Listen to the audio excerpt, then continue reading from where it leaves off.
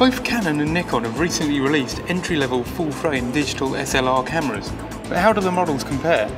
The Nikon D600 has a 24.3 megapixel sensor with an ISO range of 100 to 6400.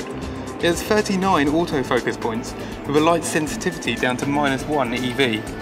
It can record video in full HD resolution and has a headphone jack. It doesn't have Wi-Fi or GPS built in, although these can be added by buying extra adapters.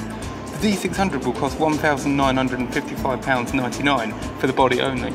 The Canon EOS 6D has a 20.3 megapixel sensor with an ISO range of 100 to 25,600. It has 11 autofocus points with a light sensitivity down to minus 3 EV. It can record video in full HD resolution, although it is missing a headphone jack. It has Wi-Fi and GPS built in. The 6D will cost £1,799.99 for the body only.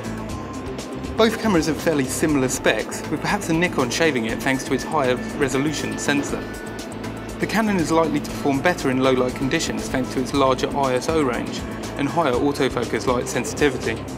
However, if you plan on recording a lot of video, the ability to listen to the sound quality through the headphone jack on the Nikon could be a huge advantage.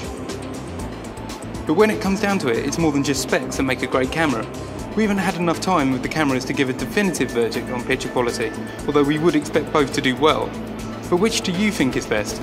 Let us know in the comments below.